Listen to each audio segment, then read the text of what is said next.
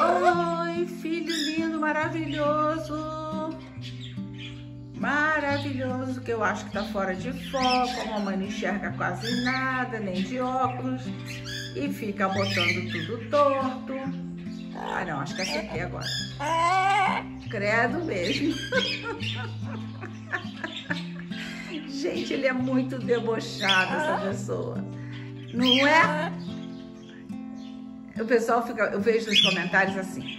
Ah, o Agil é incrível, ele coloca pra... Meus amigos que frequentam a minha casa, eles ficam impressionados, porque ele fala o dia todo que Deus deu, ele fala pela ponta da asa. Também mamãe fala pelos cotovelos, né, filho? Esse. E ele fala pela ponta da asa, ele fala muito, muito. Só que eu não falo sozinho. Eu falo com você, né, filho? Então, os amigos ficam impressionados como é que ele conversa. Ele fala, ele coloca as palavras certas no lugar, na hora certa. Então, o Ageu precisa ser estudado, gente. Se alguém quiser estudar o Ageu, estudar no sentido não é de abrir ele não, tá, gente? Estudar no sentido de conversar, de passar um dia com ele conversando, né, filho? Não é? Isso é brincadeira, tá, gente? É, mas ele realmente coloca as coisas no lugar certo, é impressionante. É a primeira vez que eu tenho papagaio na vida, né? Eu já, já, já falei para vocês em outros vídeos. A minha infância foi ao lado deles, mas não era meu e eles eram bravos. Então eu só ouvia eles cantarem, falar.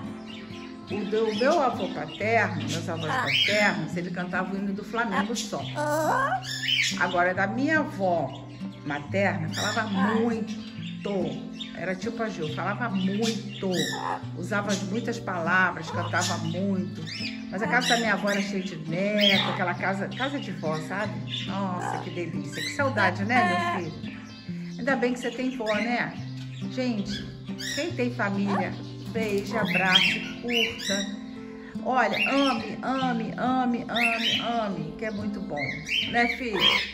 Quem tem neto pequeno, fica na cabeça para sempre as memórias, o que a gente faz com eles. É uma delícia ter avô.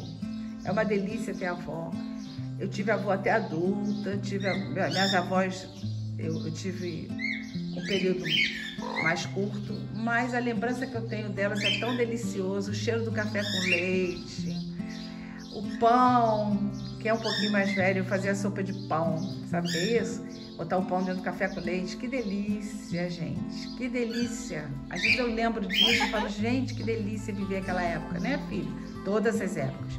Eu amo o que eu vivo hoje, eu amo a fase que eu tô, mas curtam bastante. Curtam, curtam, que é muito bom. É muito bom. Isso fica para sempre. Isso que vale, né, filho?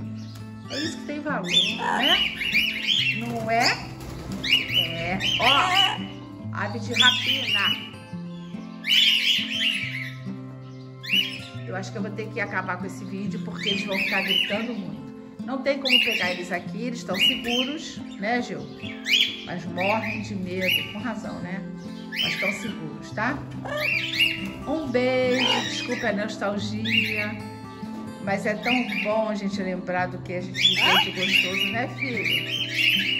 É muito bom, é muito bom. Beijo para todos, continue se cuidando e até a próxima.